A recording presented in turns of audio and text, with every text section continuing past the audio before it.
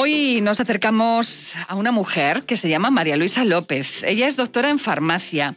Bueno, lleva ya tantos años en nuestra ciudad que se siente como una salmantina más. Lleva trabajando en investigación del cáncer, hasta pasando por la industria farmacéutica, 22 años eh, en diferentes puestos de trabajo dentro de la empresa MSD. Los últimos 10 años ha trabajado en el extranjero y el resto en la planta de fabricación aquí en nuestra ciudad de Salamanca. Actualmente ella es directora de calidad para España. Y bueno, em, ya fuera del territorio de, de su ámbito profesional, le encanta la pintura, le gusta muchísimo viajar y además hacer deporte. María Luisa López, muy buenas tardes. Hola, buenas tardes. ¿Cómo Encantada estás? de estar con vosotros. Igualmente. Bueno, hoy es un día muy señalado eh, sobre el cual me gustaría, sobre todo, lanzar esta primera pregunta. Conocer, en tu opinión, ¿consideras hasta qué punto sigue siendo necesario que se celebre, que se visibilice un día como este? Para mí es importante dar visibilidad a un número muy alto de mujeres que eligen estudiar carreras de ciencias y que al final, por más que no lo creamos, en el mundo tanto de la industria como en el mundo no solo privado, sino de la administración, tiene una salida profesional este tipo de carreras. Entonces, visibilizarlo y ejemplificarlo para que estas mujeres, niñas, adolescentes se animen a estudiar carreras de ciencias, para mí sigue siendo importante.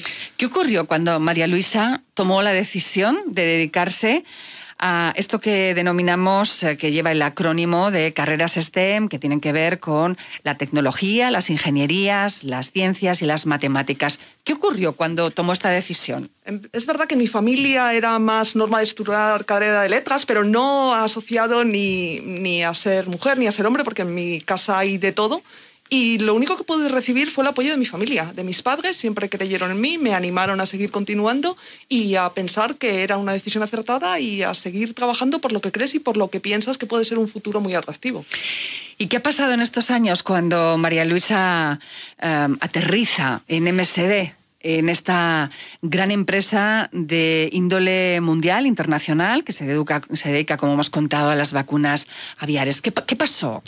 Esto fue hace 22 años, como bien has dicho. eh, yo estaba trabajando en investigación aquí en, en la Universidad de Salamanca, en la Facultad de Farmacia, y surgió la oportunidad, pues una oferta de trabajo en la cual vas a una serie de entrevistas, como en cualquier otro campo, y bueno, pues me seleccionaron para trabajar en aquellos tiempos, no era todavía MSD, para los oyentes probablemente recuerden los laboratorios antiguos Intervet, Intervet. y empezamos a trabajar el- en, en producción.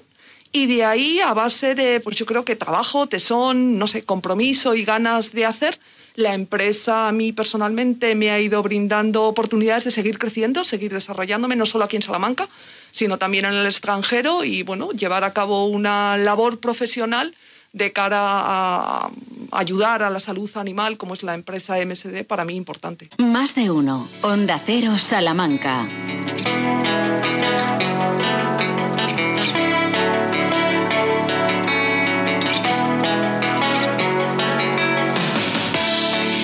Seguimos eh, conversando con María Luisa López. Como les decía, es hoy nuestra invitada primera en entrevista del día, porque es el ejemplo de una mujer que lleva 22 años trabajando en una empresa dedicada pues precisamente a la investigación, MSD. Lo ha hecho en otras sedes de esta empresa a nivel internacional y ahora desde hace 10 añ- 10 años aquí en nuestra ciudad de Salamanca. María Luisa López, buenas tardes de nuevo. Buenas de nuevo.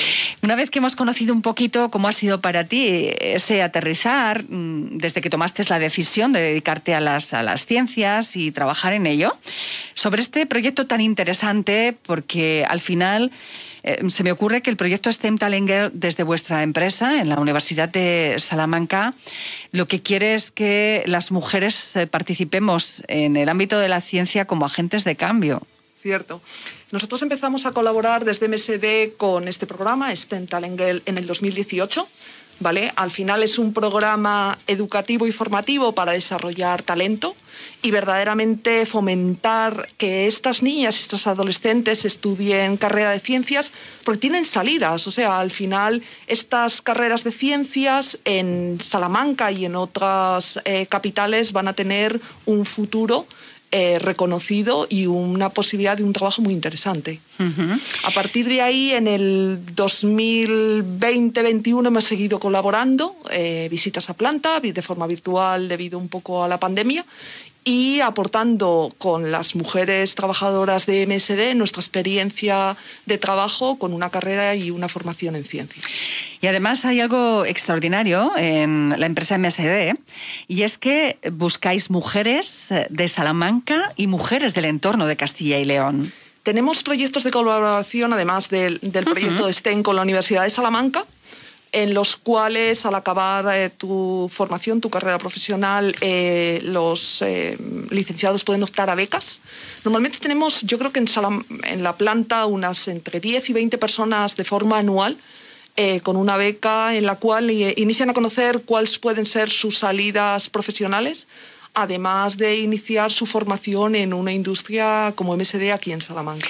Muy brevemente, María Luisa, ¿Cuál es la barrera fundamental que detectáis eh, cuando os ponéis en contacto, en contacto con el talento de estas mujeres en la ciencia? Yo mi experiencia no encuentro barreras, realmente. A mí se me ha dado la oportunidad, igual que se la damos a todas las personas que quieren trabajar con nosotros. A los hechos me remito que en MSD Salamanca somos un 65% de mujeres las que trabajamos allí en la planta. Yo no veo barreras, es las ganas de trabajar, la formación constante, el esfuerzo, el compromiso y el, querer seguir luchando. ¿Sabes qué? Vamos a terminar con algo que, me encanta y es, eh, a menudo pensamos que vuestras cabezas, en general las de los científicos, eh, hombres, mujeres, son cabezas eh, como muy rígidas, inflexibles. Todavía existe todo este tipo de mitos, estereotipos, imagino que lo compartirá. Me encanta que contemos a los oyentes para finalizar que una de las grandes pasiones de nuestra invitada hoy, María Luisa López, es la pintura. Sí, es cierto. Así que la creatividad está también en vuestra estructura mental. Es cierto. ¿Sí? es cierto. Yo empecé a pintar muy pequeña, era una pasión que me transmitió mi abuelo y por devenires de la vida nunca lo puse, lo pude abordar y llevo 10 años, voy a clases, pinto en mi casa, regalo mis cuadros, porque para mí es un orgullo regalar los cuadros que pinto y eh, para mí es una de mis grandes pasiones, la pintura, el óleo. Un mensaje que le parece importante para los oyentes hoy del programa, más de uno que tenemos también de todas las franjas eh, de edad. Eh, ¿Qué sería interesante? ¿Qué le nace como importante para dejar aquí? Para transmitir hoy a estas niñas y adolescentes que tienen dudas en su vida que la carrera de ciencias es una opción, que el trabajo, el esfuerzo se ve recompensado y que al final, si verdaderamente crees en lo que haces eh, y luchas por ello, tienes una salida. Bien, pues le doy las gracias y además voy a compartir con los oyentes algo que lo hago en este momento porque me parece eh, relevante para que los oyentes conozcan que aunque María Luisa López está muy acostumbradísima a comunicar, lo hace habitualmente, em, en convocatorias eh, con estas mujeres, niñas, precisamente estudiantes, en fin, eh, que está en un capítulo donde está acostumbrada a trasladar Em, bueno, pues todo, todo lo que tiene que ver con la ciencia. Sin embargo, era su primera entrevista hoy aquí en la radio. Así es cierto, es la primera vez que vengo a la radio. Le doy, le doy las gracias también por haber tenido la oportunidad de ser la primera persona que le haga una entrevista en la radio. Espero que haya resultado la, la entrevista y la experiencia de interés como para entender que en los medios de comunicación tienen que estar. Sí, ciertamente. Muchísimas gracias, por haber compartido hoy estos minutos eh, en un día en el que seguimos hablando en el programa ahora también con otro testimonio de mujer en el Día Mundial de la Mujer y la Niña en la Ciencia. Más de uno. Onda Cero Salamanca.